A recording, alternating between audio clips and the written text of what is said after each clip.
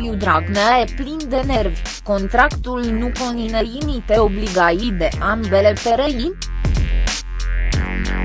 Ulterior, Liviu Dragnea a venit cu câteva precizări.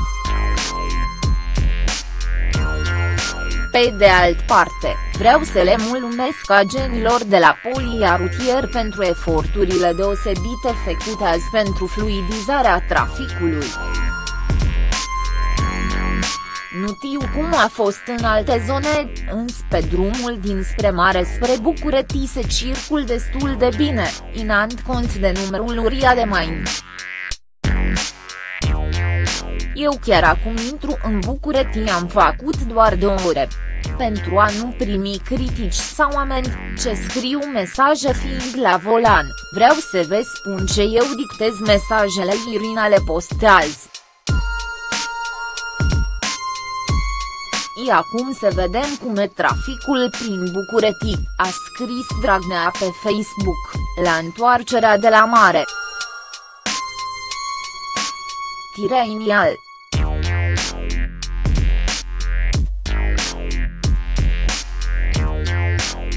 Liviu Dragnea e plin de nervi, după ce a fost asaltat cu mesaje de la românii care au fost plecați în mini-vacana de un mai la mare. Liderul PSD a fost informat ce plata prin SMS a taxei de pod de la FTT nu funcționează, iar oferii trebuie să stea să peletească taxa la ghielele de pe autostradă. Mi se pare inadmisibil, a tunat Dragnea, suprat pe Ministerul Transporturilor pe Gnair.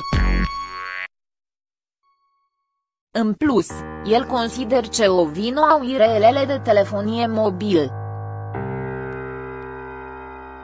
Am primit multe mesaje astăzi de la oameni care se întorceau de la mare, pe autostrada Soarelui, ce nu pot peleti taxa de pod la FTT prin SMS, deoarece sistemul nu funcționează.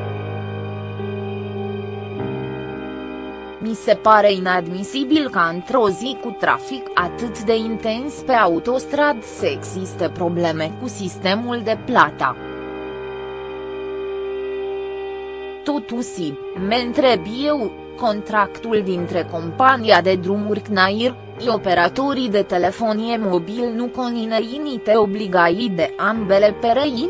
Cetenii care nu au nicio vin nu trebuie protejați, e mesajul lui Liviu Dragnea.